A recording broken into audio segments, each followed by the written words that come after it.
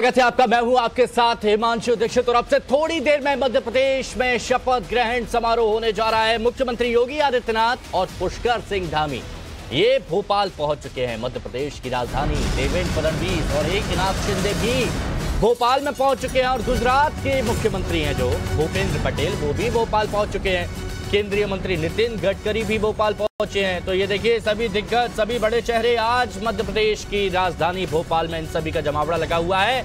लक्ष्य क्या है? वजह क्या है? वजह है क्योंकि मोहन यादव अब से कुछ ही देर में मुख्यमंत्री पद की शपथ लेने वाले हैं। साथ में जगदीश देवड़ा भी उप मुख्यमंत्री पद की शपथ लेंगे। और ये आप तस्वीरें देखिए। तस्वीरें भी हम आपको लगातार दिखा रहे हैं। तस्वीरें भी आपको लगा लगातार दिखा रहे हैं। तो मोहन यादव की जिस तरह से ग्रैंड एंट्री हुई है हालाँकि बहुत लंबे वक्त से राजनीति में सक्रिय थे लेकिन मुख्यमंत्री जिस तरह से उनको चुना गया है तो बहुत से लोगों ने उम्मीद नहीं जताई थी लेकिन आप देखिए किस तरह से अब मुख्यमंत्री पद की जब वो शपथ लेंगे तो समारोह में शामिल होने के लिए दिग्गजों का जमावड़ा लगा हुआ है। और इनका स्वागत कैसे किया जा रहा है?